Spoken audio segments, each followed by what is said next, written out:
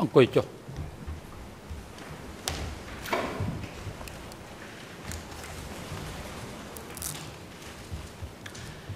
អង្គជំនុំជម្រះប្រកាសបន្តកិច្ចដំណើរការនីតិវិធីសកម្មការហើយមុននឹងផ្ដល់វេទិកាជូនទៅក្រមសាមីទ្វីនៅមុខតំណាងដើមមនរដ្ឋវិនីក្នុងការបន្តការតាំងជំនួតនេះដោយចំពោះសាក់សីរូបនេះអង្គជំរះប្រកាសនៅសេចក្តីសម្រេចផ្ទាល់មាត់ មួយលើសំណើ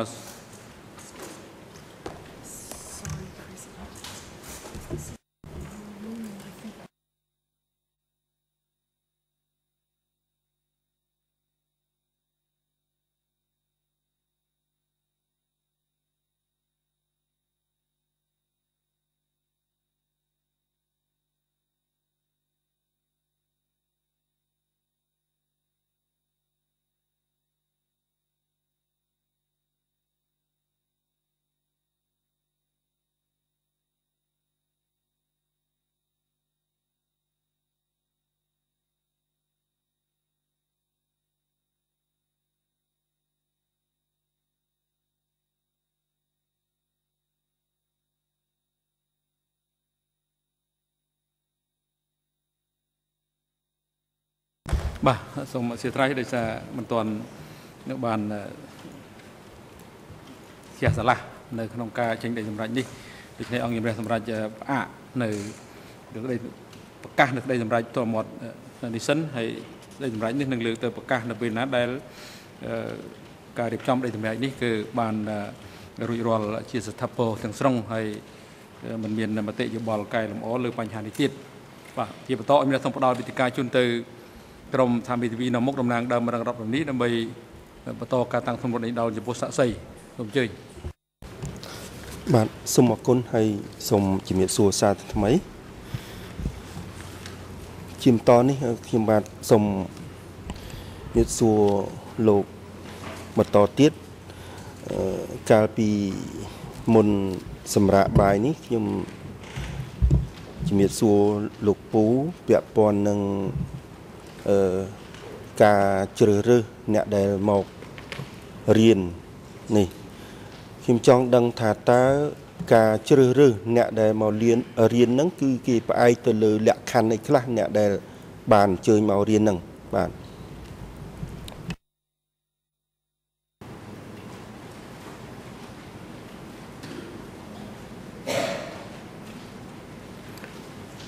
បាទសូមគ្រប់លោកធានអឺ សំណួរនេះចង់ពាក់ព័ន្ធនឹងសំណួរដែលបានសួរពីពេលមុនមកថាតើការដែលរើសមករៀនហ្នឹងខ្ញុំចង់បញ្ជាក់បន្ថែមនេះតើរៀនហ្នឹងរៀនជាវគ្គបណ្ដុះបណ្ដាលខាងបច្ចេកទេសនោះឬមួយក៏រៀនអីបាទសូមអរគុណចេះខ្ញុំចង់ដឹងចេះចង់ដឹងថាតើអ្នកដែលត្រូវជ្រើសរើសមករៀនហ្នឹង គេផ្អែកទៅលើលក្ខខណ្ឌអីឧបមាថាបុគ្គលកត្រូវជ្រើសរើសមកតើគាត់ស្ថិតនៅក្នុងវណ្ណៈអីដែលគេត្រូវជ្រើសរើសគាត់មកហ្នឹងបាទខ្ញុំចង់ជំរាបសួរបញ្ហាហ្នឹងបាទ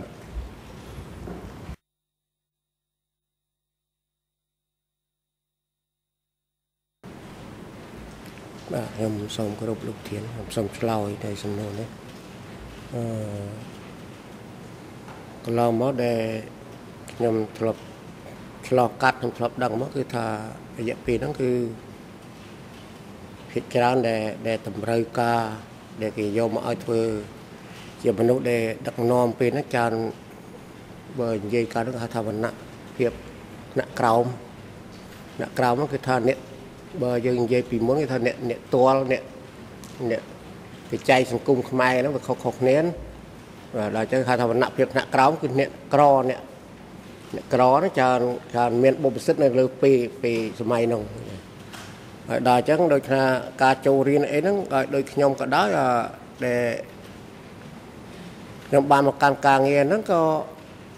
ខ្ញុំមិន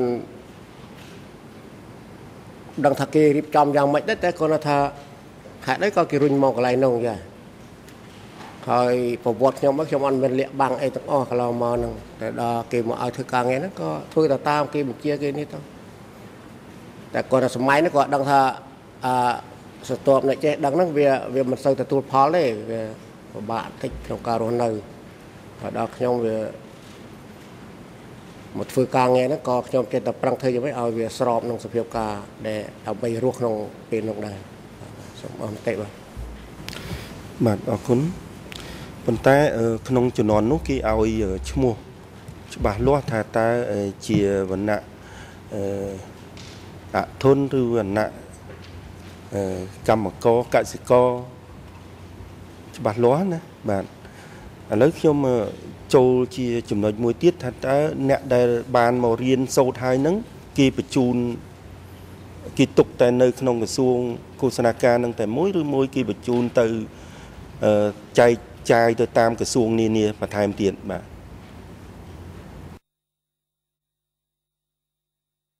ខ្ញុំមិនចង់អត់ចង់សួរខ្ញុំហ្នឹងដឹងជាសួររឿងនៅក្នុងមិនក្រសួងរបស់ខ្ញុំឬមួយក៏សួរជាទស្សនវិជ្ជាទូទៅនេះសំណួរនេះខ្ញុំខ្ញុំចាប់មិនទាន់បានអញ្ចឹងណាបាទតែអញ្ចឹងកន្លែងខ្លះដែលបើសួរក្នុងសភាពក្នុងក្រសួងខ្ញុំ ខ្ញុំឆ្លើយថាការដែលរៀនហើយគឺថាវាបម្រើទៅការងារក្នុងក្រសួងហ្នឹងទេវាវាសិតតែបុគ្គលដែលមនុស្សក្នុងក្រសួងហ្នឹងរៀនបាទហើយឯពិធីអប់រំអីផ្សេងទៀតអាហ្នឹងខ្ញុំអត់ដឹងអត់យល់ទេអាហ្នឹងរឿងក្រៅនេះខ្ញុំសូមជូនហ្នឹងបាទមាញ់មិញខ្ញុំអឺលោកថាការជ្រើសរើសមកពងៀនអញ្ចឹងហើយខ្ញុំស្មានថាតើការគេដែលគេពងៀនហើយមិនមែនទុកតែក្នុងក្រសួងទេណាអញ្ចឹងគេអាចចែកទៅក្រសួងផ្សេងផ្សេងទៀតព្រោះពងៀនហ្នឹងវាមានវគ្គពិសេសគឺថាបណ្ដុះបណ្ដាល6ខែហើយពាក់ព័ន្ធនឹង Telegram អញ្ចឹងខ្ញុំអឺសួរបាញ់មិញហ្នឹងគឺថាចង់ដឹងថាបើសិនបើមកពរៀនអញ្ចឹងហើយ គេអាចចែកទៅតាមក្រសួងនានាដែរអត់មានន័យអញ្ចឹងណាលោក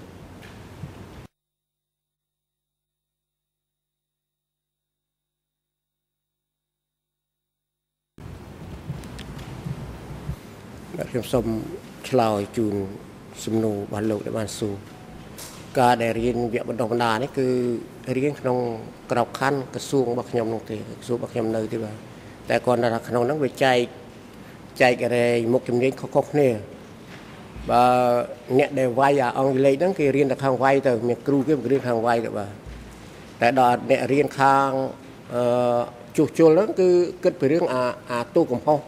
និងឧបតហេតុដែលម៉ាស៊ីនខូចអីហ្នឹងខំប្រឹងរៀនអាជ្រុងហ្នឹងទៅបាទនេះជាជំនាញដែលមានមកហ្នឹងគ្នាប្រហែលអ្នកហ្នឹងគឺថាសុទ្ធតែមានដោយឡែកដោយឡែកពីគ្នាទេគាត់ថាមកមកផ្នែកមាន2 3អ្នកមកផ្នែកមាន2 3អ្នកដែរនេះខ្ញុំសូមជូនចម្លើយប៉ុណ្ណឹងបាទបាទអរគុណលោកច្រើនខ្ញុំអឺសូមត្រឡប់ទៅក្រោយបន្តិចដោយសារអឺបាញ់មិញអឺអត់បានសួរសំណួរនេះ ខ្ញុំចង់ដឹងថាតើនៅពេលមុនរំដោះមុនរំដោះបានន័យថាចិត្តរំដោះបានអញ្ចឹងពេលដែលចិត្តរំដោះបានហ្នឹងលោកនៅទីតាំងណាដែរនៅម្ដុំណាដែរនៅក្នុងខេត្តកំពង់ឆ្នាំងហ្នឹងប៉ុន្តែនៅម្ដុំណាដែរបាទ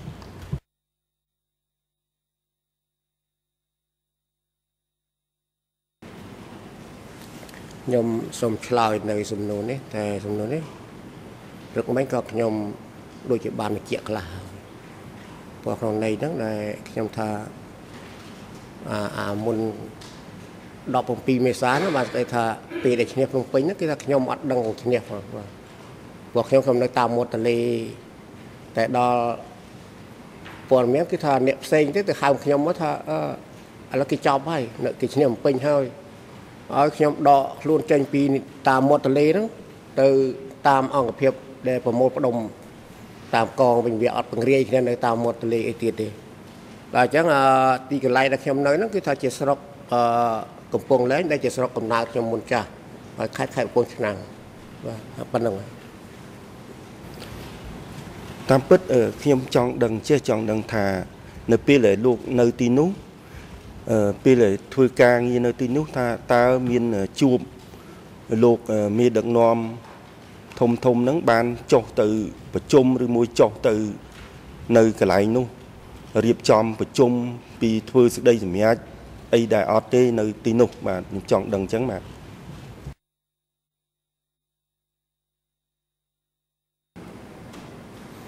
បាទខ្ញុំសូមឆ្លើយថែមនៅចម្លើយខាងដើមបាទពេលដែលខ្ញុំនៅហ្នឹងគឺថាអ្នកដែលដែលត្រូវ ប្រជុំឬមួយក៏គ្រប់គ្រងខ្ញុំហ្នឹងគឺថាមានត្រឹមអីប្រធានដឹកនាំខ្ញុំជាឋានៈអីកកនុសនាធំប៉ុណ្ណឹងហើយដែលខ្ពស់លើពីហ្នឹងទៅគឺថាមានត្រឹមវិរៈនាតូចរបស់ស្រុកប្រធានគេហ្នឹងបើដូចថាអ្នកហ្នឹងឯងជាអ្នកដឹកនាំកម្លាំងសាច់តបហ្នឹងគឺថាអស់ត្រឹមត្រឹមប៉ុណ្ណឹងត្រឹមវិរៈនាតូចនេះជូនប៉ុណ្ណឹង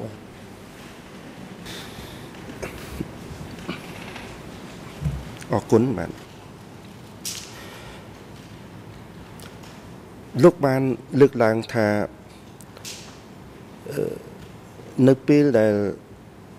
ជំលះហ្នឹងគឺលោកបានទៅទទួលអ្នកជំលះថាតើពេលដែលលោកទទួលបានអ្នកជំលះដែលនៅចេញពីខេត្តហ្នឹងទៅហើយទទួលគាត់យកទៅដាក់នៅតាមឃុំ ហើយខ្ញុំចង់ដឹងថាតើពេលដែលបញ្ជូនពួកគាត់ទៅដាក់ដល់ឃុំដល់អីហើយហ្នឹងតើគេមានរៀបចំជាលក្ខណៈសហករណ៍ហើយឲ្យគាត់ធ្វើអីទៀត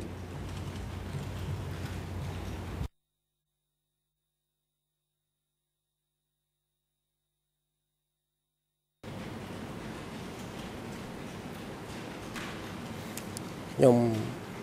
សូមឆ្លើយនៅសំណួរនេះ តទៀតអឺក្នុងនាមដែលខ្ញុំបានឃើញនឹងដឹងការដែលជំរាបប្រជាជនចេញពីនោះហើយចេញពីខេត្តហើយហើយខ្ញុំជាជាកម្លាំងតបទេតែគាត់ថាបានជួយបញ្ជូននោះទៅឲ្យដល់សហគមន៍តែការដែលខ្ញុំនៅជាប់នឹងប្រជាជនដែលនៅក្នុងសហគមន៍នោះគឺថាខ្ញុំអត់មានទេគាត់ថាបានបញ្ជូនទៅឲ្យគេហើយតែ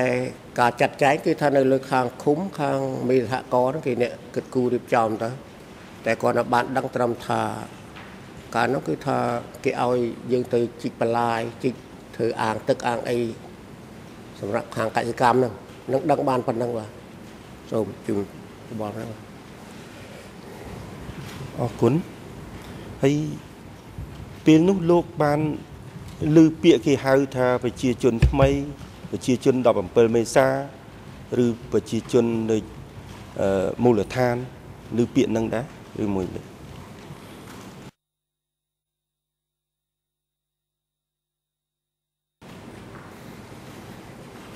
អត់ពាក្យនេះខ្ញុំបានឮគឺថាប្រជាជន17មេសាប្រជាជនមូលដ្ឋានហ្នឹងគឺជាប្រជាជនចាស់ហ្នឹងគឺថាពាក្យហ្នឹងបានឮបាទអញ្ចឹងបានដែលខ្ញុំជម្រាបខាងដើមថាដែលខ្ញុំទៅនៅភ្នំពេញហើយដោយខាងលោកនុជាគាត់ថាឲ្យបញ្ចប់អាពាក្យហ្នឹងហើយមិនបាច់បែងចែកថានេះជាជនចាស់ជាជនថ្មីអីទៀតទេបាទតែនឹងខ្ញុំទៅនៅនោះហើយតែដែលពេលខ្ញុំនៅក្នុងនេះគឺថាមានលឺពាក្យហ្នឹងបាទលឺបាទ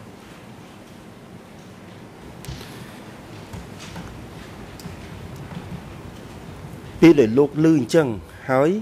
ថាតើអ្វីដែលជាក់ស្ដែងលោកដឹងថាតើអឺគេបែងចែកពួកគាត់ឲ្យនៅជាលំដាប់លំដោយឬមួយជាក្រុមជាពួកជាក្រុមច្បាស់លាស់ឬមួយយ៉ាងម៉េចអាហ្នឹងការអនុវត្តជាក់ស្ដែងពេលដែលលោកឮហើយ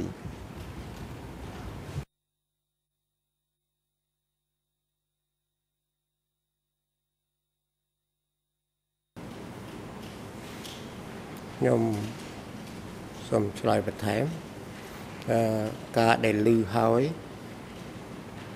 ការដែលគេរៀបចំជាជននោះយ៉ាងម៉េចយ៉ាងម៉េចខ្ញុំមិនបានឃើញមិនបានយល់ដឹងទេដោយសារអីដោយសារថាខ្ញុំជាជាអង្គភាពតបហើយដូចខ្ញុំបញ្ជាក់ខាងដើមថាខ្ញុំកាលហ្នឹងក៏នៅក្នុងអាអាការដែលលើកទំនុកបន្លាយហ្នឹងគេដែរដែលខ្ញុំអត់តន់មកភ្នំពេញនេះបាទ ហើយដល់អញ្ចឹងការងារដែលប្រជាជនទៅនៅនោះគឺថារឿងគេនោះគេចាត់ចែងឲ្យខ្ញុំមានកងមានអង្គភាពរបស់ខ្ញុំធ្វើតែការងារខ្ញុំដែរដែរនេះខ្ញុំសូមជូនយោបល់នោះបាទ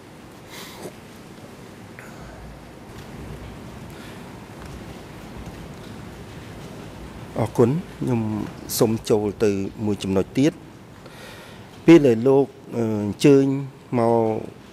ទីក្រុងភ្នំពេញហើយ បានធ្វើការនៅក្នុងក្រសួងឃោសនាការ ពេលនោះគឺលោកស្គាល់តែលោកអឺផោះដែលក្រោយមកលោកបានស្គាល់ថាផោះហ្នឹងជាលោកហ៊ូនឹមដែលជារដ្ឋមន្ត្រីក្រសួងឃោសនាការនេះថាតើអឺពេលដែលលោកហ៊ូនឹមដែលគាត់នៅគ្រប់គ្រងហ្នឹងមានប្រធានផ្នែកជារចនាសម្ព័ន្ធនៅក្នុងក្រសួងហ្នឹងមានប្រមាណផ្នែកដែរបាទ ដូចថាក្នុងក្រសួងឃោសនាការមានផ្នែកស្ដាប់ជូមានផ្នែកធ្វើឯកសារមានផ្នែកស្អីហ្នឹងខ្ញុំចង់ដឹងថាតើមានប្រមាណផ្នែកហើយលោកអាចបញ្ជាក់បានទេថាតើក្នុងផ្នែកមួយមួយហ្នឹងមាននរណាខ្លះដែលទទួលខុសត្រូវហ្នឹងបាទ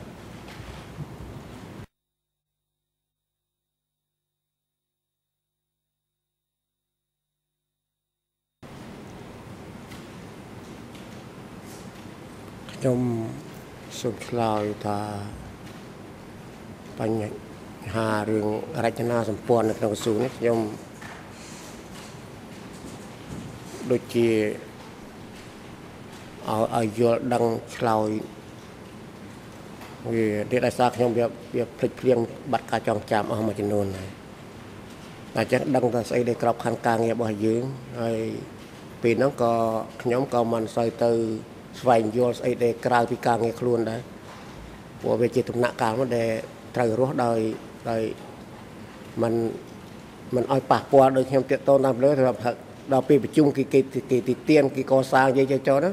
យើងរស់ក្នុងសភាពខ្លាចគេថាឲ្យអញ្ចឹងដល់អញ្ចឹងខ្ញុំអត់ស្វែងយល់អីឲ្យឲ្យដឹងរឿងក្រៅពីការងារខ្លួនឯងច្រើនហើយអញ្ចឹងខ្ញុំរកឆ្លើយអត់អត់អត់បានបាទសូមអរទេ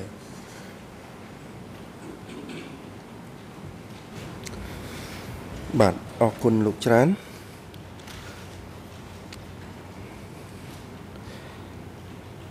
ក្រសួងឃោសនាការនេះគឺមានការផ្លាស់ប្ដូរមនុស្សគ្រប់គ្រងជាច្រើនបន្ទាប់ពីលោកហ៊ូនឹមគឺចូលមកយុនយ៉ាតហើយបន្ទាប់ពីយុនយ៉ាតចូលមកលោកនួនជាហើយការគ្រប់គ្រងហ្នឹងខ្ញុំចង់ដឹងថាតើ ការគ្រប់គ្រងរបស់តាំងពីលោកហ៊ូនឹមរហូតមកអឺយុនយ៉ាតនិងលោកនួនជាតើមានការប្រែប្រួលនៃអ្វីដែលនៅក្នុងក្រសួងនឹងដែរអត់ទេ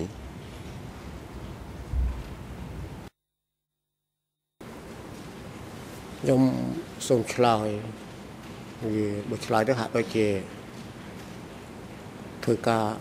និយាយវាត្រង់វែងតិចតែខ្ញុំគាត់ថាអាចនិយាយដល់ខ្លីសំណុកថា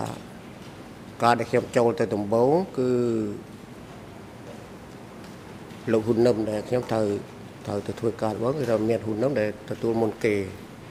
តែក្នុងពេលហ្នឹងខ្ញុំក៏ទទួលស្គាល់ថាអង្គការហ្នឹងខ្ញុំទៅក៏ក៏ខ្វះអាហារបាយហើយស្រស់ស្រូបសម្រាប់អីពេលវេលា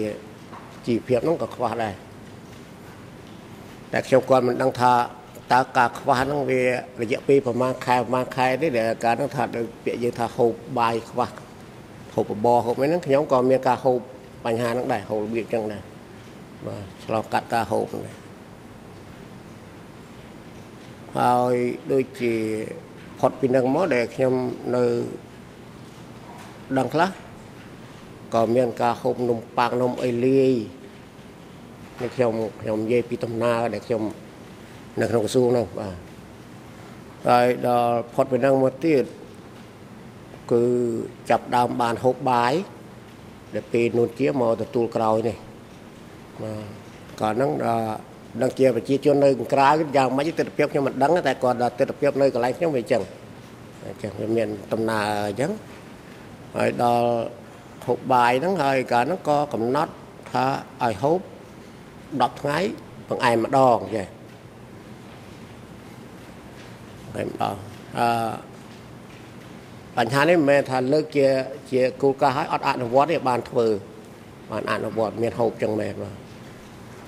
ហូតដល់ពេលដែលដែលដែលមានបញ្ហាដកខ្លួនចេញពីភ្នំពេញទៅហើយរឿងហូបនោះដល់អញ្ចឹងដំណើរហ្នឹងខ្ញុំមិនដឹងថាតើពីមុនមកដែលអត់ហ្នឹងវាយ៉ាងម៉េចអីយ៉ាងម៉េចហើយដល់ពេលមកក្រោយមក វាទៅមានបាយហូបហ្នឹងដំណើរវាទៅយ៉ាងម៉េចយ៉ាងម៉េចអានេះខ្ញុំមិនដឹងទេរឿងហ្នឹងរឿងតែគាត់ដំណើរដែលជីវភាពរស់នៅសម្រាប់ដែលខ្ញុំមកនៅភ្នំពេញហ្នឹងវាមានមានដំណើរវាហ្នឹងនេះខ្ញុំសូមមានមតិប៉ុណ្ណឹងបាទអរគុណតាមពិតអឺខ្ញុំចង់ដឹងចំណុចថាអឺការគ្រប់គ្រងជាលក្ខណៈអឺរចនាសម្ព័ន្ធតើពេលដែលរចនាសម្ព័ន្ធលោកហ៊ូនឹមបុគ្គល ហើយពេលរចនាសម្ព័ន្ធពេលយន្តយ៉ាតគ្រប់គ្រងហើយបន្ទាប់មកលោកនួនជាហ្នឹងគាត់ផ្លាស់ប្ដូរអរចនាសម្ព័ន្ធអឺផ្លាស់ប្ដូរអ្នកនេះទៅធ្វើការងារនោះអ្នកនោះធ្វើការងារនេះអឺឲ្យអ្នកនេះទៅកាន់ប្រធានកន្លែងនោះវិញតើមានការផ្លាស់ប្ដូរអញ្ចឹងដែរអត់ហើយអឺឬមួយមានថាអឺការបាត់ខ្លួនបន្តបន្ទាប់ទៀត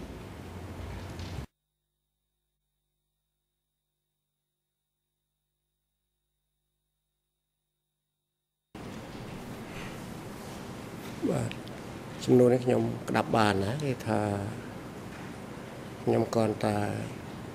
បញ្ជាក់ថារចនាសម្ព័ន្ធដែលតាមកន្លែងខ្ញុំហ្នឹងខ្ញុំគ្រាន់តែដឹងថាកាលដែលខ្ញុំចូលមកនៅហ្នឹងគឺថាវាកម្លាំងហ្នឹងវាមានមកពីខាងបូព៌ាផងហើយខាងប្រចាំតែខ្ញុំម្នាក់ទេអាហ្នឹងខ្ញុំនិយាយជូនអង្គសាវនាការអញ្ចឹងអឺមកខាងបូព៌ាទៅច្រើនពេលហ្នឹង ហើយកម្លាំងចាស់ដែលគេមាននៅហើយហ្នឹងគេនៅហើយតែដែលបញ្ចូលមកពេលហ្នឹងគឺថាមានតែខ្ញុំនៅខាងបូព៌ាតែដល់វគ្គបណ្ដុះបណ្ដាលខាងរេបច្ចេកទេសហ្នឹងវាចប់ហើយដំណើរការធម្មតាហ្នឹងតែដល់ពេលចាប់ដកហ៊ុននឹមទៅ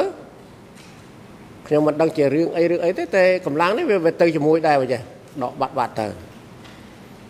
ហើយខ្ញុំមិនស្វែងយល់អីថា បាទហ្នឹងវាជារឿងរបស់នេះខ្ញុំគិតថាឬការងាររបស់ខ្ញុំតែបើដកទៅចេះនៅហ្នឹងបានមនុស្សណាធ្វើការបើចេះដកទៅគិតខ្លួនឯងចេះតែអញ្ចឹងចេះតែប្រឹងខ្លួនឯងថែមទៀតបាទបើដល់ដកទៅអត្រូវជួនចាតមកទទួលវិញការពិតគាត់តែយកមនុស្សមកបញ្ចូលអាកន្លែងដែលប្រហោងនឹងវិញទេអាកន្លែងដកចេញវិញទេបាទដកចេញនឹងវិញទេតែដល់យកមកខ្ញុំគាត់តែដឹងថា មកក្រោយនោះមិនដឹងជាបុគ្គលណាបុគ្គលណាតែគាត់ថាមនុស្សនៅក្នុងកម្លាំងរបស់ខ្ញុំអឺគាត់បញ្ចូលមកសិតតែក្មេងៗមកពីខាងភូមិភាគអ្នកដីនេះតាមខ្ញុំចាំបាទភូមិភាគអ្នកដីពណ៌កម្លាំងហ្នឹងខ្ញុំអ្នកបណ្ដុះបណ្ដាលបន្តដែលខ្ញុំរៀនបានពីពីខាងវគ្គជាមួយចិនមកខ្ញុំជាបណ្ដុះបណ្ដាលបន្តដោយសារគេដកអស់ហើយយន្តយ៉ាតនោះក៏បទល់បទល់បកលមនុស្សដែលក្មេងៗហ្នឹងឲ្យមកខ្ញុំទៅឲ្យជួយ បណ្ដុះបណ្ដាលក្មេងនេះដើម្បីអីដំណើរការការងារនឹងឲ្យបានចាដល់ខ្ញុំគិតតែប្រឹងរឿងហ្នឹងទេអញ្ចឹងរឿងមនុស្សបាត់ទៅណាខ្ញុំអត់ដឹងរឿងទេអ្នកដកទៅនោះអញ្ចឹងខ្ញុំគាត់តែឃើញអាថារចនាសម្ព័ន្ធហ្នឹងគឺថាដូចខ្ញុំក្នុងឯកសារដែលខ្ញុំបញ្ជាក់ថាហាក់ដូចជាការបូព៌ាដូចមានរឿងជាមួយខាងបូព៌ាដូចមនុស្សចូលគាត់ទៅទៅបាត់ទៅឥឡូវវាឃើញសិនមនុស្សមកពីខាងនេះដីមកវិញ នេះខ្ញុំគាត់តែគិតការនោះទេដល់អញ្ចឹងខ្ញុំគាត់ថាអីព្រោះว่าជាប់ខ្សែខាងណាគេដកខ្សែខាងហ្នឹងខ្សែខាងណាដកខ្សែហ្នឹងនេះគាត់តែគិតខ្លួនឯងទេមិនឲ្យតម្លៃថាដឹងរឿងអីច្បាស់ទេតែសារឃើញថាមកមិនក៏ទៅវិញបាត់អស់ហើយសាប់តែយកនេះឃើញតែខាងនេះនេះដែលខ្ញុំជូនអង្គជំនុំដើម្បីយល់បញ្ហាដែលដែលពីរឿងរចនាសម្ព័ន្ធនៅកន្លែងនោះអញ្ចឹងហើយដល់ខ្ញុំប្រចាំខ្ញុំតែម្នាក់ឯងខ្ញុំនៅជានៅទៅអឺ ដល់អញ្ចឹងបានក្នុងឯកសារនេះខ្ញុំបានបញ្ជាក់ខ្លះតែលោកមិនតតបានអស់ចម្ងល់ក៏ខ្ញុំឆ្លើយបន្ថែមទៀតបាទសូមអំយោបល់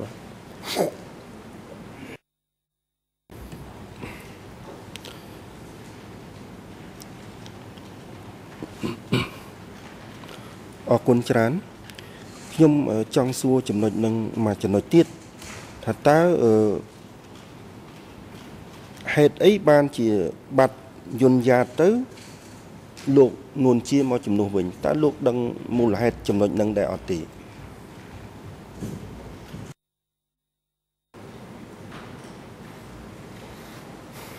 បញ្ហាដែលដកស្រីយុនយ៉ាតហើយនួនជាមកវិញនេះខ្ញុំអត់មានបានដឹងរឿងអីទាំងអស់ព្រោះគាត់តែដឹងថា យុនយ៉ាតក្រោយមកគាត់ទទួលក្រសួងមួយសូមអញ្ជើញលោកមេធាវី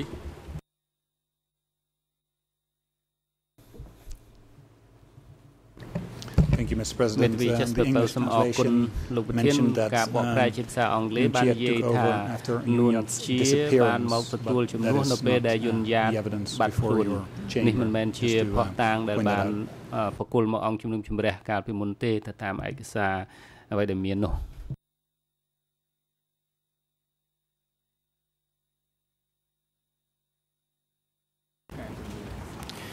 អញ្ចេះលោកប្រធាន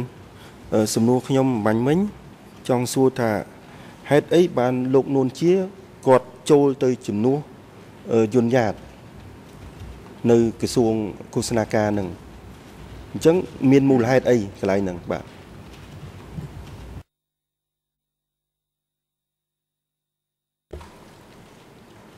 សួរម្ដងទៀតណាអរគុណធាន ខ្ញុំ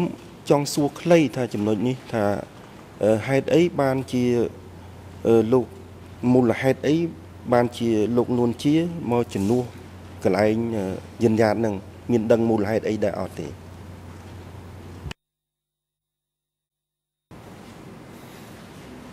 មូលហេតុដែលនួនជាមកជំនួស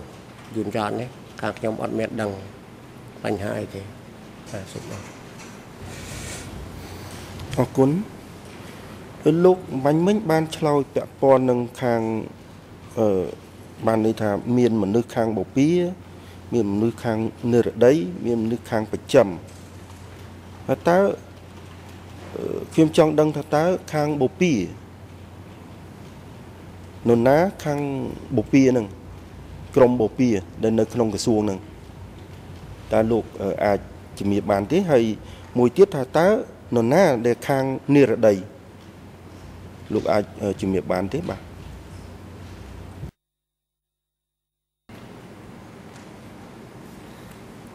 ខ្ញុំសូមឆ្លើយសំណួរនេះអឺនៃដែលខ្ញុំបញ្ជាក់ថាខាងបូព៌ាខាងអ្នកដីនោះគឺខ្ញុំចង់និយាយពីសមាជិកដែលធ្វើការជាមួយខ្ញុំបាទព្រោះ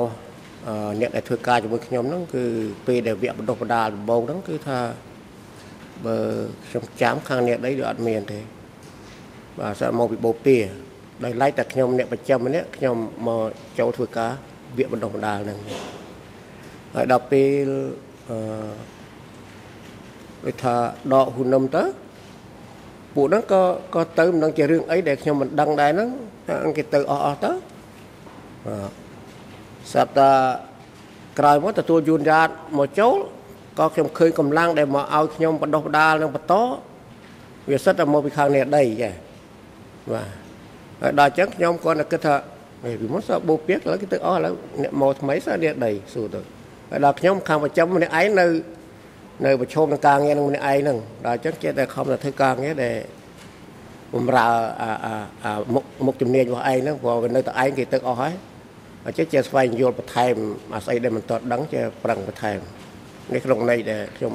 ខ្ញុំនិយាយសំណួរមុនខ្ញុំនិយាយប៉ុណ្្នឹងបាទគឺសូមអរមតិបាទអរគុណច្រើនជនលោកស្គាល់អឺនរណាគេជាមេខាងភូមិភាគនិរដីដែរ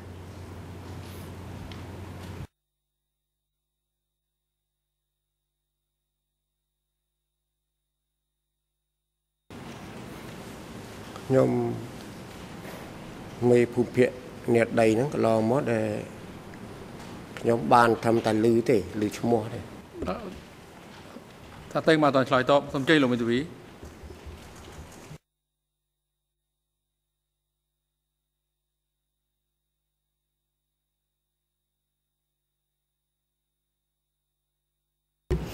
vous remercie, Monsieur le Président. Bonjour, euh, bonjour à Mesdames et Messieurs de la Chambre et à l'ensemble des partis. Euh, je- J'objecte à ce stade des questions de mon confrère de la partie civile, parce que jusqu'à présent nous étions encore sur la question du ministère de la propagande, mais là nous nous dirigeons vers la zone sud-ouest qui ne fait pas partie du cadre du premier procès et qui, à mon sens, euh, euh, n'est pas pertinent dans le cadre de la ligne de questionnement de mon confrère.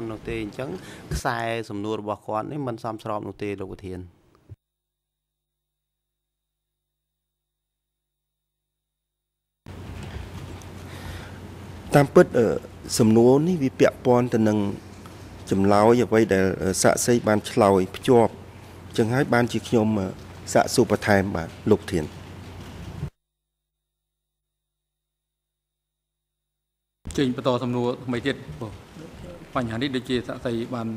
ឆ្លើយរួចហើយដែរមិនដឹងគាត់មិនដឹងទេបាទអរគុណលោកធាន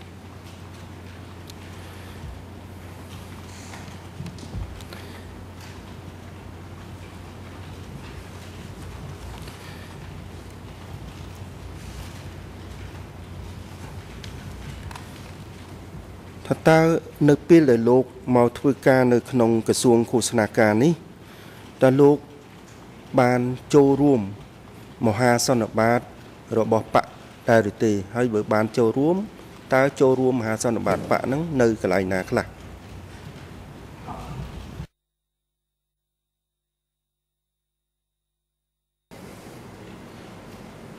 ខ្ញុំសូម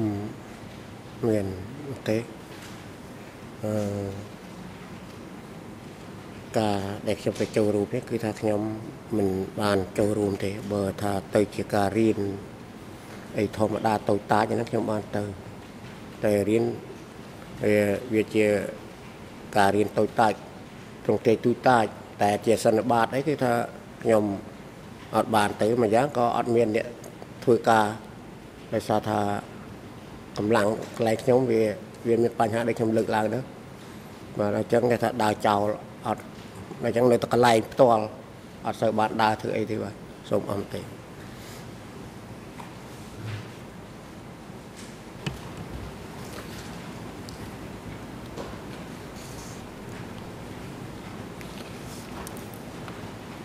សូមអរគុណ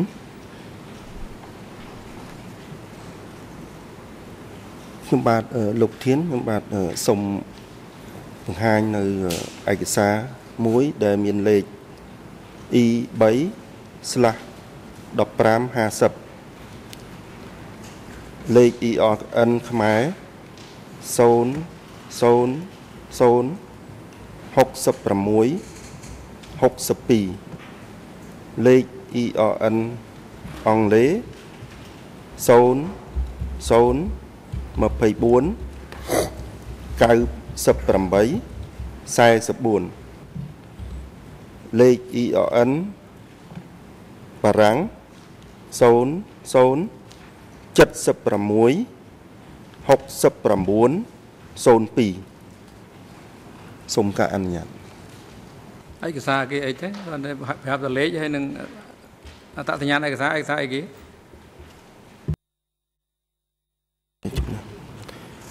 កាលពីព្រឹកមិញអឺខាងសហវិញ្ញាបានបង្ហាញហើយគឺថាចម្លើយសារភាពរបស់ លោកហ៊ូននឹម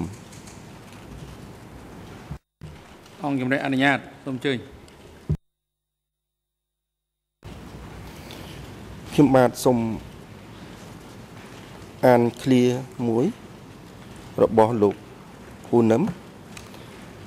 ខ្ញុំនឹកឃើញពេលថ្មីថ្មីកាលឆ្លងជីវទស្សន៍បដិវត្តន៍នៅសាលាបៈបុរីកីឡា ខែ11 1976ឮសមមិត្តឆយលើកពីភោគឆាយហើយនិយាយពីរឿងបង្កើតបកចំណុចនេះខ្ញុំចង់ជំរាបសួរថាតើលោកអឺបាន ដឹងពីចំណុចនេះដែរអត់ទេបាទ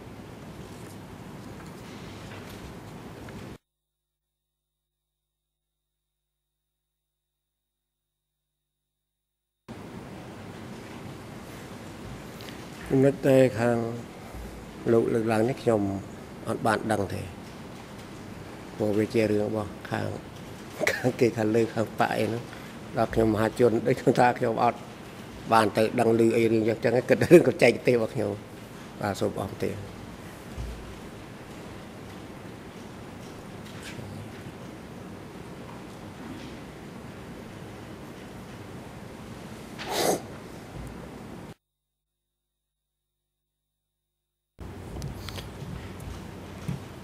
កាលពីព្រឹកមិញលោកបាន លើកឡើងថាលោកបានឃើញទស្សនវិដី តុងបដិវត្តនៅក្រសួងខ្ញុំចង់ដឹងថាតើលោកបានឃើញហ្នឹងគឺលោកបានពិនិត្យមើលទេហើយថាតើមានរូបរាងមិនពណ៌យ៉ាងម៉េចដែរបើសិនបើលោកបានមិនបានអានបាទ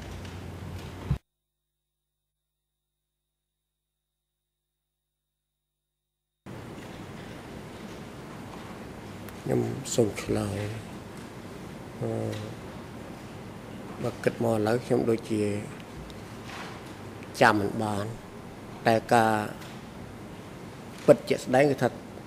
ខ្ញុំបានឃើញទួងនេះមែនតែដល់ខ្ញុំបញ្ជាក់ពី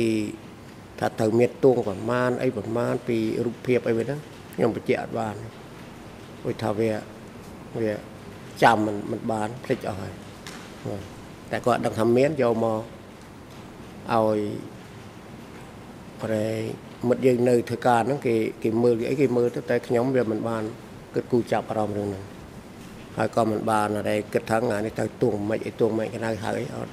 អត់ដឹងទេនេះខ្ញុំសូមជូនប៉ុណ្ណឹងបាទ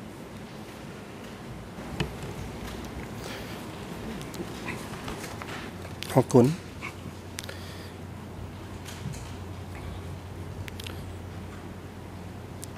ខ្ញុំជំរាបសួរ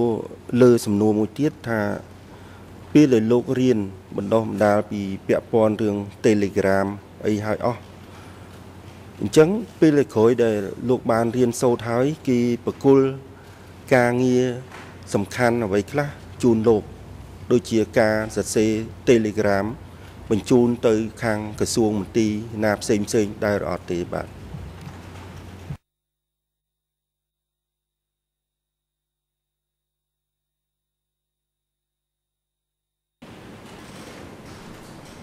ខ្ញុំសូមឆ្លើយសំណួរនេះការដែលដកកម្លាំងហើយត្រូវឲ្យខ្ញុំទទួលទទួលរៀបចំបណ្ដោះកម្លាំងថ្មីអឺខ្ញុំជូនថាពីដំបូងខ្ញុំរៀនតែខាងជួសជុលទេជួសជុលអង់គ្លេសហ្នឹងបាទឯការវាយអង់គ្លេសអីហ្នឹងដែលជាការវាយហ្នឹងគឺថាមានរបស់គេផ្សេងអ្នកផ្សេងឯង តែដោយសារការងារវាជាប់ហ្នឹងខ្ញុំចិត្តតែរៀនវាយតាមគេបាទចិត្តតែរៀនបន្ថែមបាទដល់រៀនបន្ថែមទៅកាលដែលគេដកដល់នឹងចេញទៅខ្ញុំនេះក៏ដូចជាគ្រាន់តែយល់ជាសាច់ការតែការជាក់ស្ដែងខ្ញុំអនុវត្តមិនទាន់បានល្អទេ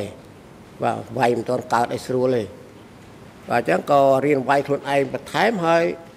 កម្លាំងដែលគេឲ្យមកហ្នឹងក៏បង្រៀនគេថែមថាគេរៀនមិនមិនហ្នឹងប្រាប់វិធីដែលធ្លាប់បានឃើញការគេរៀនមុនមក ហើយខ្ញុំនោះក៏រៀនបន្ថែមតាមនោះដែរទៅដើម្បីស្វែងរកអាអាអាការយល់ដឹងបន្ថែមនៅលើអាអាគេរៀនហ្នឹងតើគេរៀនមិនអីមិនហ្នឹងយើងស្វែងយល់ថែមព្រោះការដែលរៀនជាមួយបរទេសហ្នឹងខ្ញុំអត់បានរៀនចាតែដោយសារការងារជាប់ហ្នឹងចេះតែរៀនថែមមករៀនអាវិធីវាយហ្នឹងព្រោះមុនរៀនតែជួសជុលទេដឹងតែជួសជុលទេរៀនមួយភ្ញៀវនេះខ្ញុំគាត់ថាដែលខ្ញុំត្រូវត្រូវ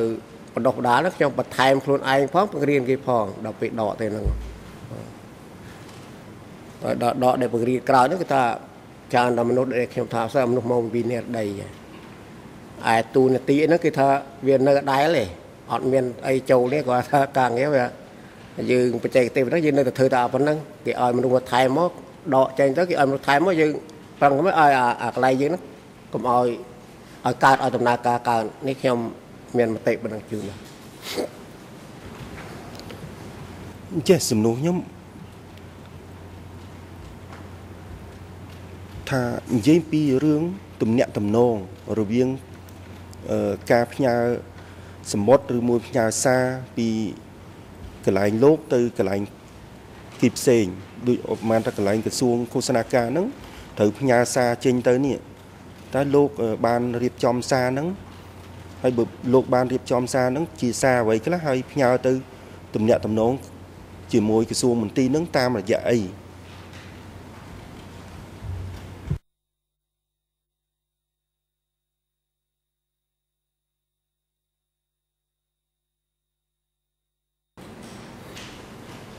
សំណួរនេះខ្ញុំជម្រាបជូនហើយព្រឹកមិញហាក់ដូចជាបានឆ្លើយមួយចំនួនហើយរឿងថាអឺ ឯកសារដែលខ្ញុំចាប់បានពីអាម៉ាស៊ីននេះគឺថាដែលខ្លះក៏គេប្រាប់ថាឥឡូវចាប់3ច្បាប់ដល់អញ្ចឹងយកយើងយកអាកណ្ដាស់ដែលតម្រូវកបោនវាវាយឲ្យចេញ3ស្លឹកហ្នឹង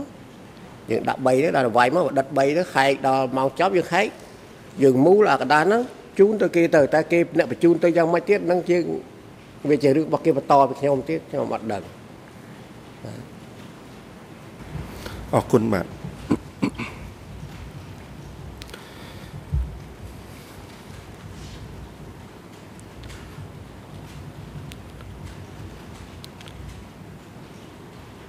តើលោកកាលពីលោកហ៊ូនឹមនៅទីនោះតើលោកមានស្គាល់កូនលោកហ៊ូនឹមដែរ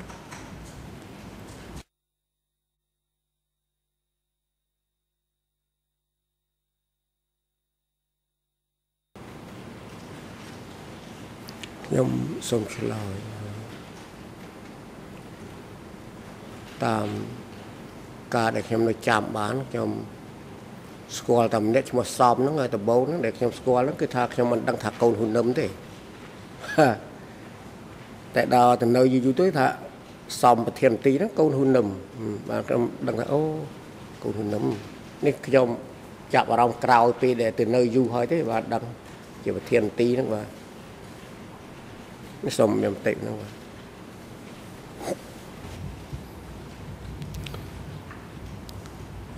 អរគុណ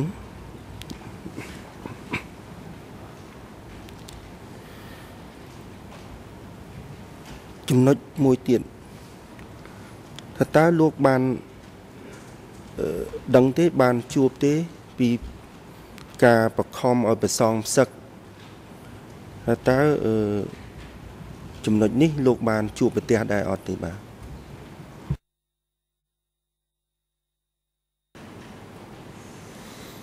ចំណុចរឿងសងសឹកអានេះវាឯកសារការដែលខាងលោកទៅធ្វើនេះជាមួយខ្ញុំហ្នឹងក៏ខ្ញុំបានបញ្ជាក់ដែរគឺថាខ្ញុំបានដឹងតាំងពីខ្ញុំនៅភូមិកំណើតណាបាទពួកភូមិខ្ញុំនៅពីខេត្តឆ្ងាយដែរ តែអញ្ចឹងគេថាជាតំបន់ដែលដែលកាលនោះគេថាងាយឲ្យបដិវត្តនឹងមកកើតវានៅឆ្ងាយពីខេត្តទៅជនបទដោយខ្ញុំបញ្ជាក់ថានៅខាងព្រៃគ្រីនោះហើយដល់អញ្ចឹងអឺពេលដែលតាហ៊ានលន់ណល់មិនទាន់ចូលមុននោះពី70មកហ្នឹងគឺថាចលនានេះកើតទៅវាបានចូលទៅដល់ភូមិខ្ញុំហ្នឹងហើយដល់ចូលទៅគេថាមុនលន់ណល់ចូលហ្នឹងគឺថា ពិសងអីដែលប៊ូសអីហ្នឹងគឺថាគេមានអីសឹកខ្ញុំទៅស្គាល់ស្គាល់ការពិតគឺថាខ្ញុំនៅបាទមានអីសឹកហើយ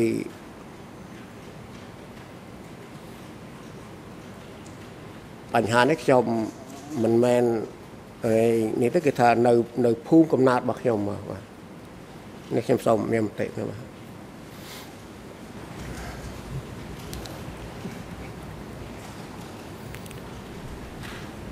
អរគុណជិតលោកបានដឹងទីពីពាក់ព័ន្ធថារឿងគេហៅថាគោលនយោបាយមិនល្អគេបន្តអនុវត្តដល់ពេលណាទៀតគោលនយោបាយដែលមិនល្អសារធាតុសារធាតុគោលនយោបាយសារធាតុមិនល្អថាតើគោលនយោបាយសារធាតុមិនល្អហ្នឹងស្អីគេហើយ តើគេអនុវត្តដល់ពេលណាបាទ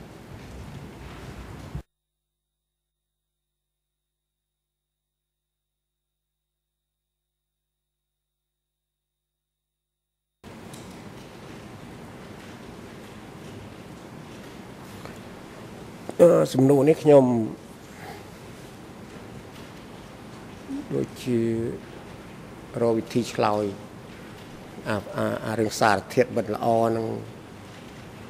ឆ្លើយទៅខ្ញុំមិនដឹងថា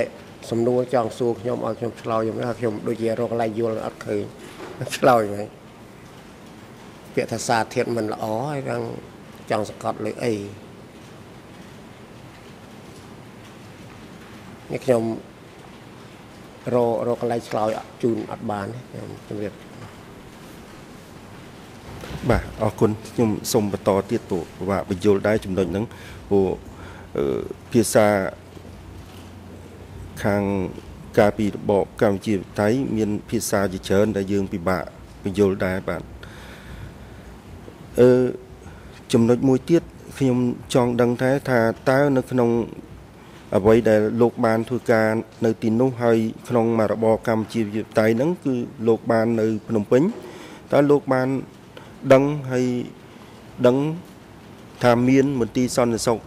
ដែលអត់ទេនៅភ្នំពេញហ្នឹងបាទ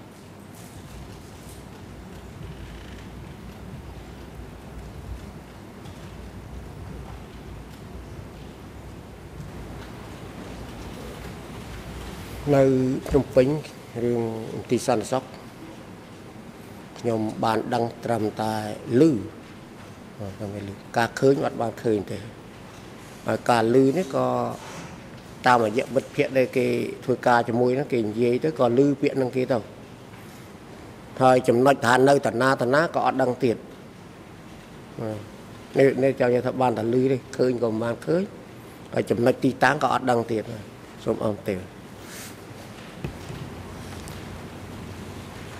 បាទអឺខ្ញុំសូមសួរលោកមួយសំណួរទៀតថាអឺលោក បានលើកឡើងអំពីថាមន្ទីរ807ខ្ញុំចង់ដឹងថាមន្ទីរ807ជាអ្វីដែលលោកបានដឹងថាជាមន្ទីរអ្វីដែរហើយនៅកន្លែងណាដែរបាទ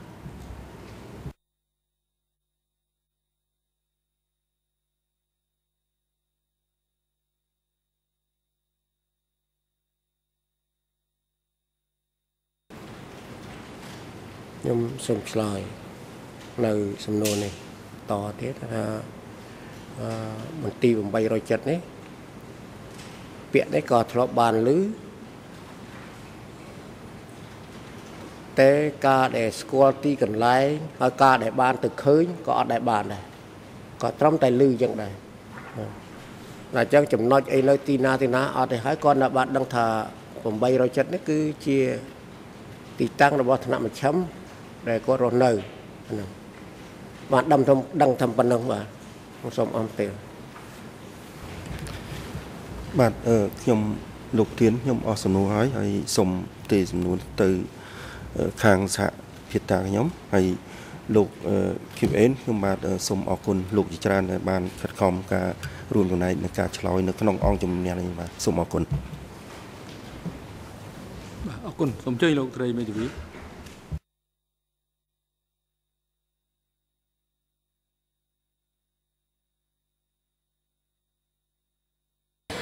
Thank you, Mr. President. Good afternoon, Mr. President. Good afternoon, Your Honours, and to everyone in and around the courtroom. Good afternoon, Mr. QN. My name is Penny Yi. I am one of the international civil party lawyers, and I will put a few questions to you. I would like to start with the time before you ខ្ញុំ worked សូម at ចាប់ផ្ដើ the ម Ministry of Propaganda នៅ and ពេលដែល Information. មុនពេលលោកចាប់ You ផ្ដើមធ្វើ told ការ us នៅ this ក្រសួង morning ឃោស that នាការមុន you worked នេះ as លោកបានប្រាប់យើងថា militiaman លោក and ធ្វើការ soldier. នៅក្នុងកងឆ្លើប My ហើយនឹងធ្វើ question ជា is, ទាហាន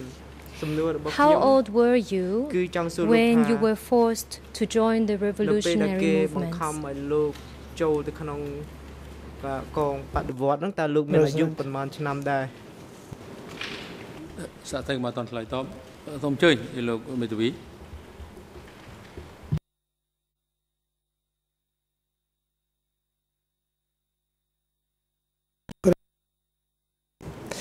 Good afternoon, Mr. President. Good afternoon, everyone. Perhaps I'm mistaken, but I believe the gentleman indicated that he was not forced to join the revolution. He indicated that his village had been destroyed by the bombings, his house was, uh, was burned down, and that he voluntarily uh, uh, joined the revolution. He wasn't forced, unless the question goes to being forced by the bombings and the conditions uh, that were inflicted upon him and his uh, fellow villagers. Thank you. From my notes from this morning, from my notes from this morning, uh, the witness mentioned that he did not join voluntarily, but that his joining of the movement was forced by the Khmer Rouge forces. But maybe the witness uh, can clarify on this point again. បញ្ជាក់ទៅលើចំណុចនេះសូមអញ្ជើញលោកសាក់សីជួយបញ្ជាក់ផងសាក់សីឆ្លើយ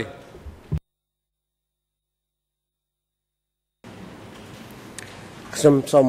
ឆ្លើយបញ្ជាក់នៅចម្ងល់នៃការដែលខ្ញុំចូលអឺធ្វើបដិវត្តនេះ ការដែលខ្ញុំចូលនេះគឺនៅក្នុងឆ្នាំ73នៅពេលដែលលន់ណុលវាយអឺត្រូវកម្លាំងអឺបដិវត្តនោះវាយតែដល់វាយហើយនោះគឺថាផ្ទះខ្ញុំវាឆេះភូមិខ្ញុំឆេះអស់ខ្ញុំហ្នឹងគឺប្រាប់ពីទស្សនភាពដែលដែលវាកើតមានបាទឆេះអស់ហើយដល់អញ្ចឹងប្រជាជនមកវិញហ្នឹងគឺថាផ្ទះសបាយហ្នឹងវាអស់ត្រូវធ្វើខ្ទមទៅអីនៅទាំងអស់ហ្នឹង ដល់ខ្ញុំហ្នឹងការពិតមិនទោះជាផ្ទះឆេះក៏មិនមិនមិនមិនជាការចង់ចូលធ្វើធ្វើបដិវត្តទេព្រោះដល់ឃើញចឹងកាន់តែពិបាកនឹងឪពុកម្ដាយអីថែមទៀតដែលអត់ផ្ទះអត់សំបែងនេះខ្ញុំនិយាយពីពីការពិតជាស្ដែងបាទអញ្ចឹងចម្លើយនឹងសំណួរឲ្យសួរដែលដែលមិនទាត់ច្បាស់នេះគឺថាដល់អញ្ចឹងអាទស្សនភាពដែលខ្ញុំចង់នោះអត់ទេអត់ចង់ដោយសារផ្ទះសបាយឆេះអស់ហើយ មិនមែនដោយសារឆេះផ្ទះសបាយរត់ចូលទេអត់ទេឆេះផ្ទះសបាយកាន់តែកើតទុកថាអញអត់ផ្ទះអត់សបាយម៉ែឪដល់អញ្ចឹងអត់ចង់ទៅទេតែដល់ពេលហ្នឹងគេថាសភាពការវាត្រូវបង្ខំយើងនៅអត់បានដល់ចឹងទោះជាយើងអត់ទៅទាត់ហឹតតបភ្លាមគេឲ្យយើងធ្វើជាឆ្លូបដូចខ្ញុំបញ្ជាក់អញ្ចឹងដល់ចឹងខ្ញុំនៅជាឆ្លូបសិនណានេះជាការឆ្លងកាត់បាទជាឆ្លូបសិនហើយពេលហ្នឹងខ្ញុំក៏បញ្ជាក់ក្នុងឯកសារដំបូងគេចង់ខ្ញុំធ្វើពេទ្យ ដោយសារថាខ្ញុំបាន ដឹងពីអសរខ្លះអីខ្លះហ្នឹងសរសេរអីស្រួលបួលខ្លះតែដល់ខ្ញុំទេខ្ញុំថាពេទ្យខ្ញុំមិនមិនធ្វើទេបើនៅញឹមញឹមនឹងនឹងភូមិហ្នឹងព្រោះព្រោះវាមើលទៅពិបាកពេកអញ្ចឹងចង់ចេញឲ្យផុតពីពីភូមិដើម្បីទៅឲ្យឆ្ងាយកុំឲ្យឃើញអតិថិភាពហ្នឹងចាដល់ចឹងខ្ញុំក៏ចូលធ្វើឆ្លប់នៅភូមិហើយខ្ញុំគាត់ដឹងថាទិសដៅគង់តែទៅទៀតទេដូចខ្ញុំនិយាយជាខ្សែសង្វាក់គេរៀបចំដំណើរអញ្ចឹង អឺស្រុកយកពីឃុំខេត្តយកពីស្រុកអានេះគេរុញអញ្ចឹងទោះបើយើងមិនស្ម័គ្រចិត្តទៅតាមដំណើរហ្នឹងតែខ្ញុំមិនទាន់ទៅភ្លាវខ្ញុំនៅក្នុងឃុំហ្នឹងដល់អញ្ចឹងខ្ញុំគាត់បញ្ជាក់ខ្លីមកវិញថាការដែលចូលនេះជាទស្សនភាពមួយដែលគ្រាប់បែកទម្លាក់ហើយសភាពការហ្នឹងក៏គេត្រូវបង្ខិតបង្ខំឲ្យខ្ញុំតែខ្ញុំក៏នៅមិនបានដែលឃើញទស្សនភាពហ្នឹងក៏ ក៏ក៏ក៏ទៅតែឲ្យឲ្យឆ្លាស់ខាងផ្លូវចិត្តថាអញស្ម័គ្រចិត្តទៅអត់ទេនេះខ្ញុំសូមជូនយោបល់ឲ្យខ្លីប៉ុណ្ណឹងបាទ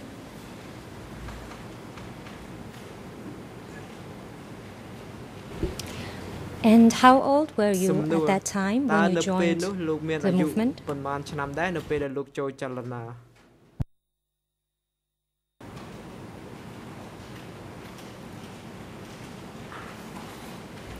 ខ្ញុំបើគិតអាយុដូចជាមិនច្បាស់មិនប្រកាសបជាទេ តែគាត់ណាអង្កាល70ដែលខ្ញុំឈប់ទៅឈប់ពីរៀនដូចជាអាយុអឺ17 10អីហ្នឹង17ឆ្នាំហើយដល់អញ្ចឹងវាឡើងមកថែមនឹងតិចទៀតមកពេលពេលពេលពី70មក73ហ្នឹង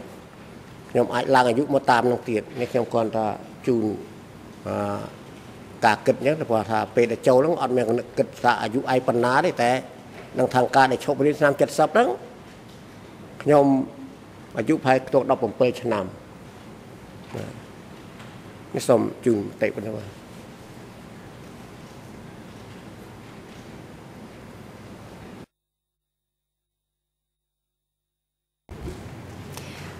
Just for clarification, your birth date is in 1958, is that correct? ឆ្នាំ1958តើត្រឹមត្រូវដែរទេនេះការបញ្ជាក់នេះខ្ញុំសូមបញ្ជាក់បន្ថែមដោយសារថាខាងលោកគេតែស៊ូវ័យឆ្ងាយទៅខ្ញុំបញ្ជាក់តាមនោះព្រោះអាយុកាលដែលដែលក្នុងអតញ្ញាណបានខ្ញុំនេះខ្ញុំបថយឯងបាទ ខ្ញុំបថយដល់អញ្ចឹងខ្ញុំប្រើតាមរូបភាពបថយខ្ញុំនោះខ្ញុំដាក់អរែង1958ឆ្នាំកំណើតតែអាយុដែលពិតគឺថាខ្ញុំបើនិយាយឆ្នាំខ្មែរយើងខ្ញុំឆ្នាំម្សាញ់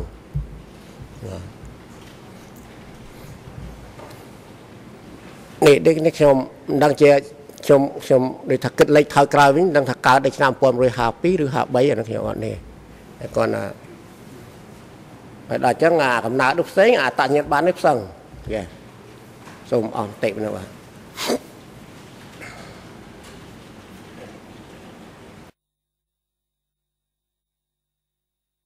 Okay, maybe that explains the different calculations that I make of your age when you were joining the movement. Let me come to the period when you were working at the Ministry of Propaganda and Information. You told us that after the disappearance of some of your colleagues, you also started to learn to typewrite telegrams. Can you tell us what the content of these telegrams were?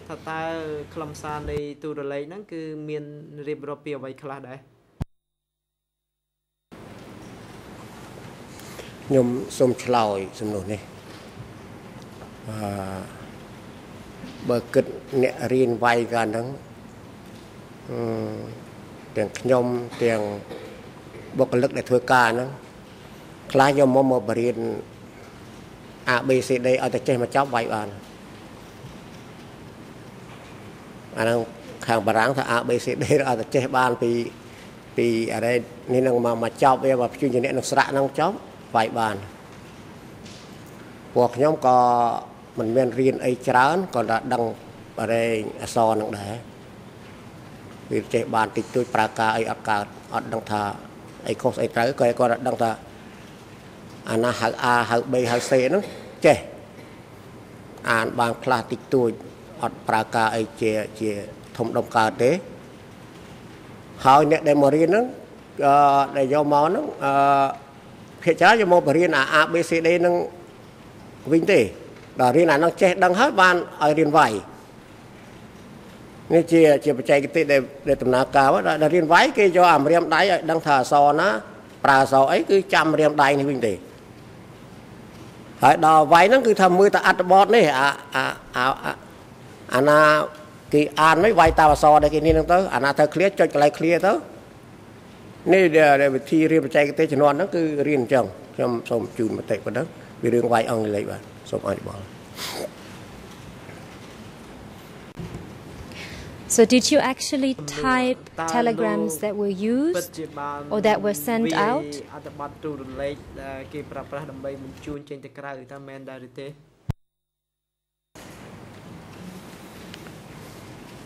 សំណួរនេះអាពីមុនរឿងបញ្ចេញទៅក្រៅមិនទាន់បានឆ្លើយទាន់បានសួរដែរតែនេះជាសំណួរមួយថ្មីអឺ ខ្ញុំនៅចាំបានថាពេលនួនជាចូលមកហើយបានការផ្សាយចេញក្រៅនេះបានបានមានការផ្សាយតែការវាយស្អីស្អីនេះនឹងអត្ថបទដែលគេឲ្យមកនេះគឺថាខាងខ្ញុំខាងបច្ចេកទេសនេះការពិតអត់ដឹងខ្លឹមសារអីគេយ៉ាងម៉េចទេគាត់ថាឯកសារគេឲ្យមកយើងមើលទៅហើយយើងធ្វើតាមបែបបទគេទៅ តែដល់ធ្វើហើយអាស្រុកគេជឿនលឿននឹងយ៉ាងម៉េចតែគាត់នឹងការហ្នឹងគឺថាយើងវាយហើយយើងធ្វើជាខ្សែអាត់ខ្សែអាត់ចាក់ហ្នឹងព្រគាត់មានអរែងអាមានរុនប្រហោងហ្នឹងអាហ្នឹងចេញអសអាអត់ហ្នឹងអាហ្នឹងវានេះអញ្ចឹងអសមួយវាមានរុនខុសគ្នាអញ្ចឹងធ្វើអក្សរអាហ្នឹងចាក់ទៅហើយដល់អញ្ចឹងអសវាវាអឺ អសបារាំងប្រមាណតួហ្នឹងគឺថាវាមានរុនវាតម្រូវអសមួយមួយរុនខុសគ្នាដល់អញ្ចឹងគេប្រើអាហ្នឹងដើម្បីបញ្ចុះអសហ្នឹងចាក់បញ្ចេញទៅហើយរឿងខ្លឹមសារអីយល់យ៉ាងម៉េចយ៉ាងម៉េចខ្ញុំអត់អត់យល់ទេខ្ញុំយល់តែរឿងបច្ចេកទេសខ្ញុំធ្វើម៉េចឲ្យអសហ្នឹងចេញក្រៅបានបញ្ជូនទៅបានហើយសូមអមទេ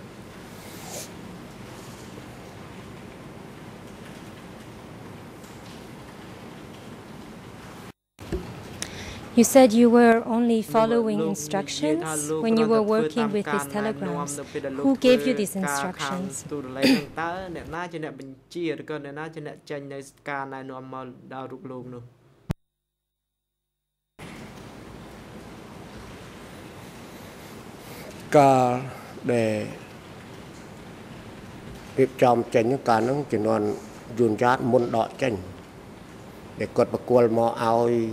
កចេញនៅការណែនាំមកដល់រូបលោកនោះកាលដែលរៀបចំចេញកាលហ្នឹងជំនាន់យួនយ៉ាតមុនដកចេញដែលគាត់ប្រគល់មកឲ្យខ្ញុំនៅកម្លាំងថ្មីហ្នឹងហើយគាត់ក៏ប្រាប់ថា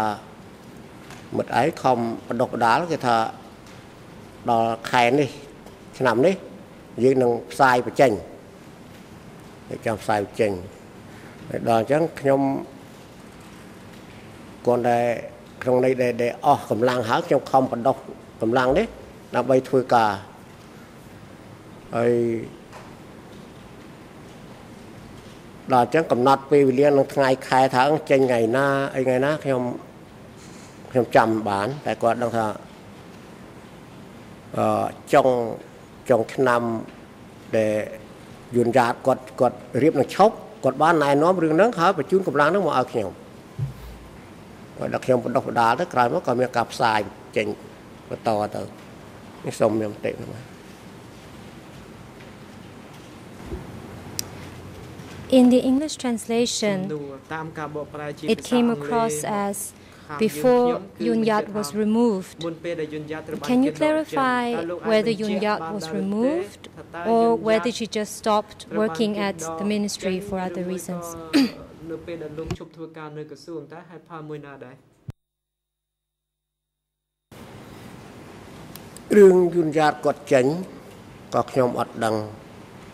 អត់ដឹងអត់ដឹងថាមូលហេតុអីអត់ទេហើយនួនជាគាត់មកទទួលវិញក៏ខ្ញុំអត់ដឹងថាមកពីយន្តយ៉ាតយ៉ាងម៉េចបាននួនជាមកវិញក៏ខ្ញុំអត់ដឹងតែគាត់ថាការងារដែលខ្ញុំធ្លាប់ជួបប្រទេសគឺថាវាមានដំណើររបៀបចឹងសូមចប់ទេ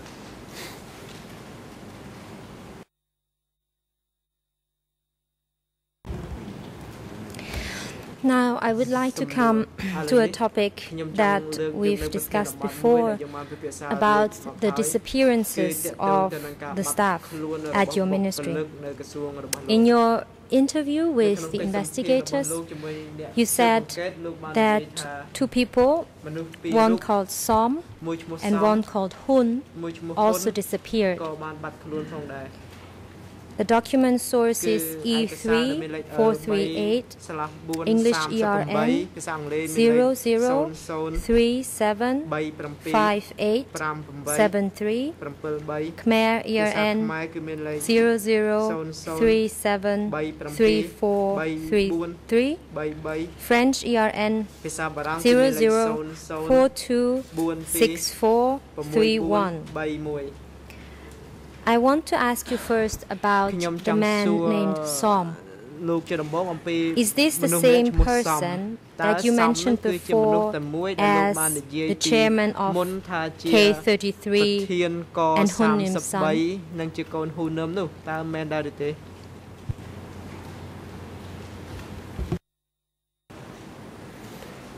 បាទឈ្មោះសំហ្នឹងគឺបើតាមខ្ញុំនៅចាំបានគឺថា មានតែមួយហ្នឹងទេដែលដែលនគរ33ហ្នឹងហើយកាលហ្នឹងក៏ទទួលក្នុងនាមជាប្រធានមន្ទីរក33ហ្នឹងបាទសូមអរគុណ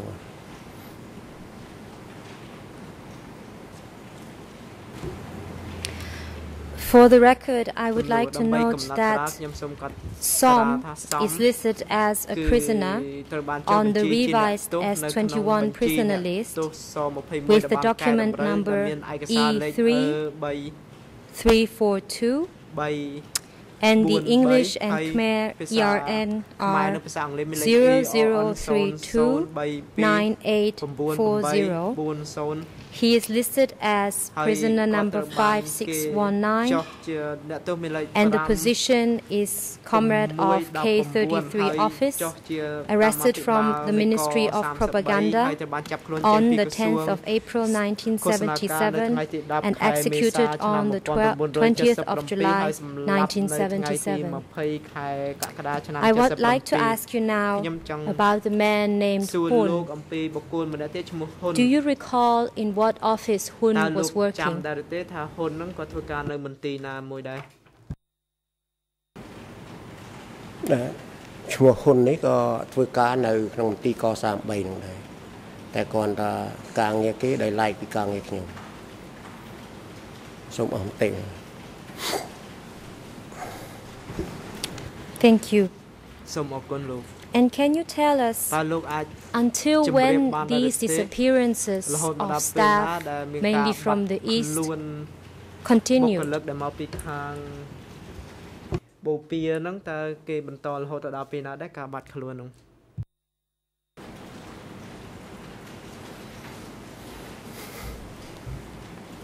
ការបាត់ខ្លួនមកពីខាងបូព៌ាហ្នឹង បើនៅក្នុងកន្លែងខ្ញុំហ្នឹងខ្ញុំគាត់ដឹងថាមកមកពេលដែលចាប់ហ៊ុននឹមហើយហ្នឹង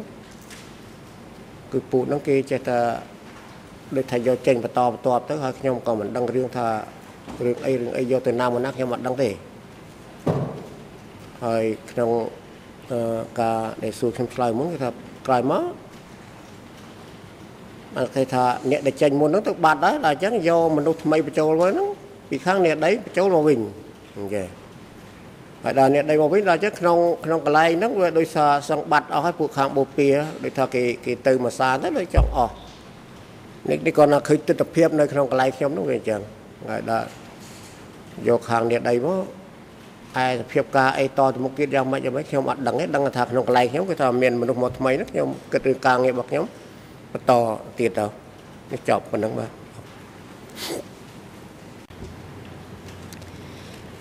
Did these disappearances of ministry staff continue when Yun Yat took over and continue when Yun Chia took over ការងារហើយវាបន្តរហូតដល់ពេលដែលនួនជាមកបន្តទៀតឬមួយក៏យ៉ាងណាដែរតតែមកតឆ្លើយតបសូមអញ្ជើញលោកមេធាវីអន្តរជាតិការពារក្តីលោកនួនជា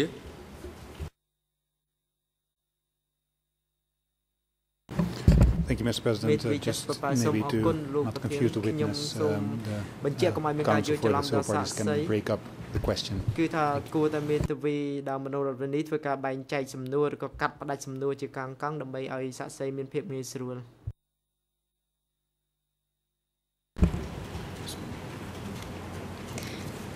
So I'll ask again just the first part of the question. Did the disappearances of ministry staff continue when Yun Yat took over? រហូតសំបីតែពេលដែលយន្តយ៉ាតមកបន្តកាន់តំណែងហ្នឹងក៏នៅតែមានការបាត់ខ្លួនឬមួយក៏យ៉ាងណាដែរ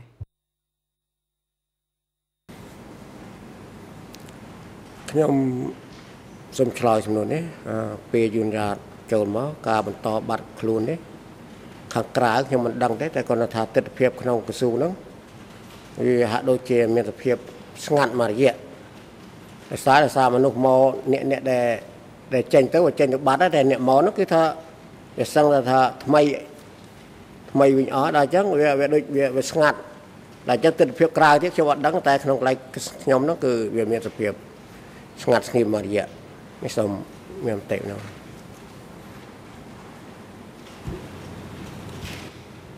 And when you say they stopped for quite a while, does that mean that the disappearances were restarted after some time? ជាថ្មីនៅពេលក្រោយមកទៀតឬមួយ